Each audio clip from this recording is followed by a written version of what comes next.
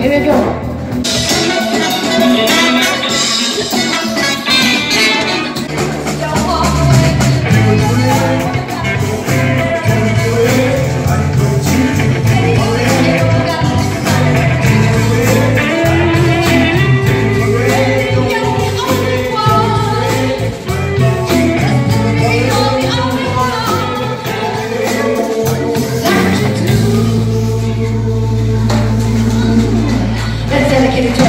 so he can do all that fantastic stuff he does. So now we're going to listen to the music.